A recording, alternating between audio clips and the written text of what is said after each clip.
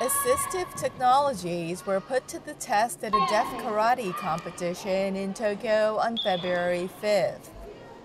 Organizers translated the referee's spoken signals and instructions into visual messages using light and display screens. The trials at Tokyo Budokan are part of preparations for the Deaflympics scheduled to take place in the Japanese capital in 2025. Organizers also introduced a system where words that are spoken or typed on a keyboard appear on a panel to facilitate communication. An official of the Tokyo Metropolitan Government expressed hope that universal communication utilizing digital technology will spread in society.